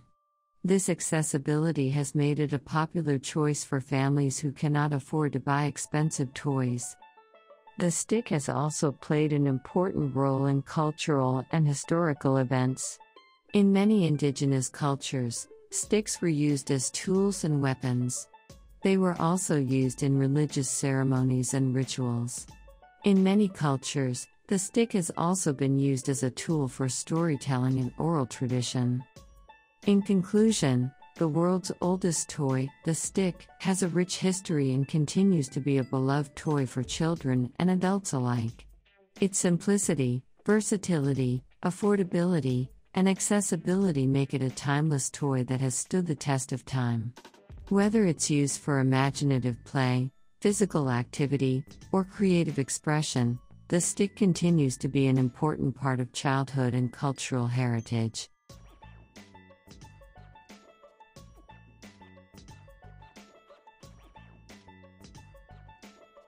The Pope is one of the most recognized and respected leaders in the world, but despite this, he is not able to be an organ donor.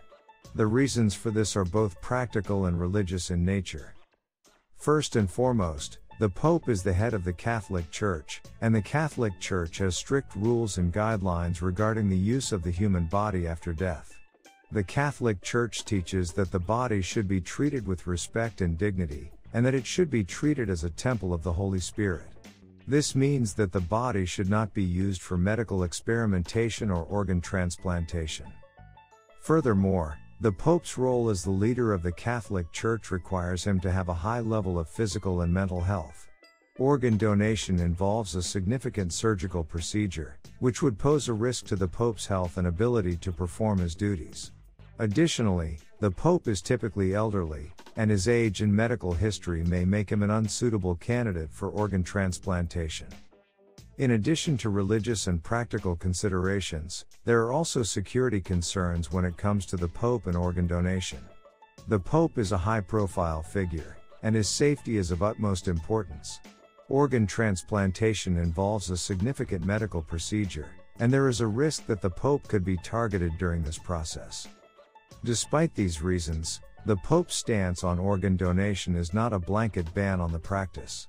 In fact, the Catholic Church encourages organ donation as a way of demonstrating love and care for others. The Church believes that organ donation can be a way of sharing the gift of life and of serving others. However, the Church also recognizes that organ donation is a personal decision and should be made with careful consideration and in accordance with one's own beliefs and values. The Church encourages individuals to prayerfully reflect on the decision to become an organ donor and to discuss the matter with their families. In conclusion, while the Pope cannot be an organ donor due to a combination of religious, practical, and security concerns, he and the Catholic Church support the practice of organ donation as a way of serving others and sharing the gift of life.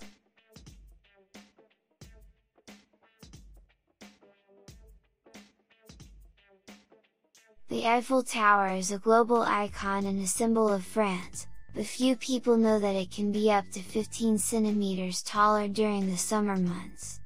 This is due to a unique phenomenon known as thermal expansion, which occurs when a material expands as its temperature increases. The Eiffel Tower is made of iron, which is a metal that is particularly susceptible to thermal expansion. The Eiffel Tower was built between 1887 and 1889 for the 1889 Exposition Universelle, a World's Fair held in Paris. Gustave Eiffel, the tower's designer, took thermal expansion into account when designing the tower.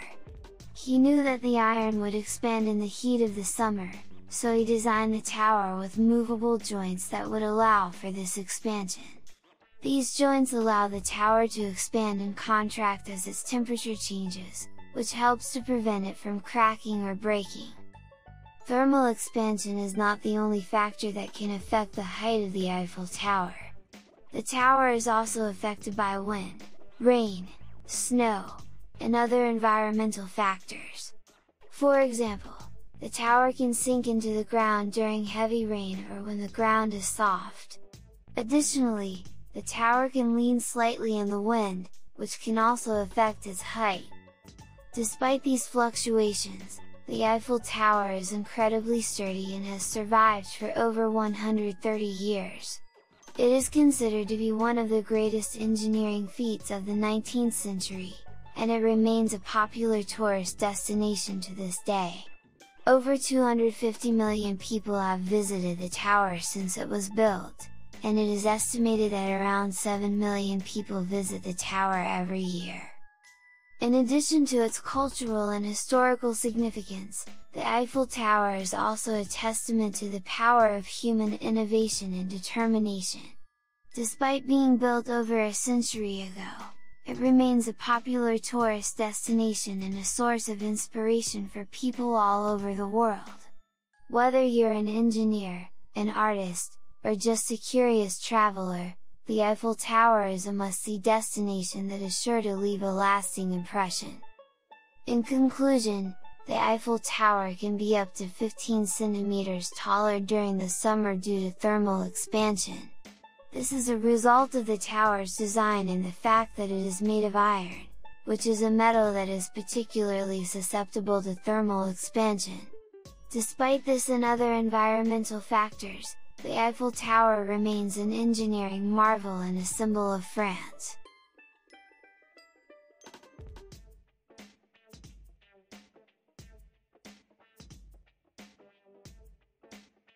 Guinea pigs, or cavies, are popular pets all over the world, but in Switzerland, owning just one guinea pig is illegal.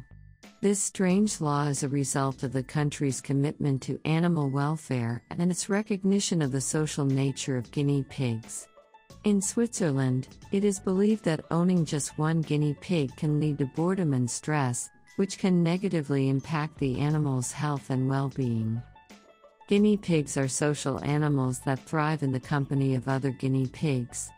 They are known to groom each other, cuddle together, and engage in playful behavior. In the wild, guinea pigs live in large communities, and they rely on social interaction to maintain their health and happiness. When kept as pets, guinea pigs need the company of other guinea pigs to feel comfortable and secure.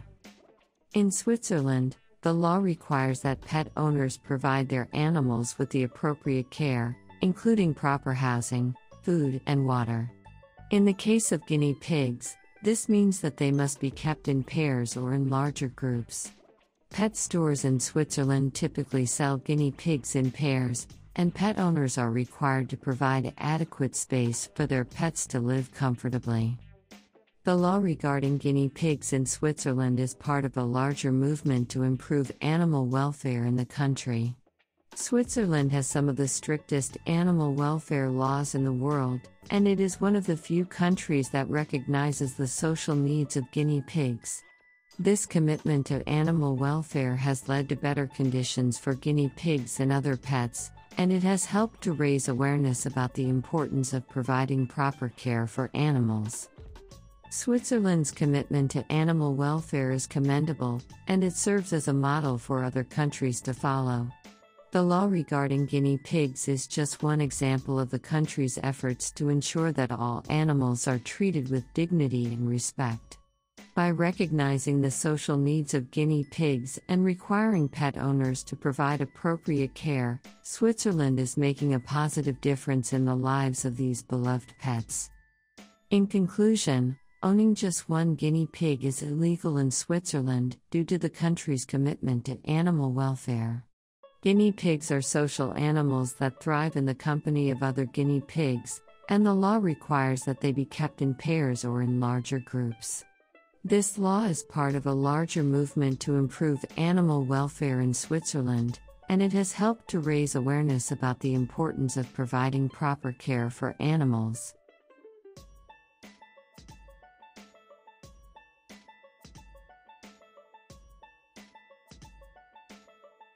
The unicorn is a mythical creature that has captured the imagination of people all over the world for centuries. But did you know that the unicorn is also the national animal of Scotland? That's right, this magical creature is an important part of Scottish culture and history, and it serves as a symbol of the country's independence and strength. The origins of the unicorn as a symbol of Scotland can be traced back to the 12th century, when it was first mentioned in Scottish folklore.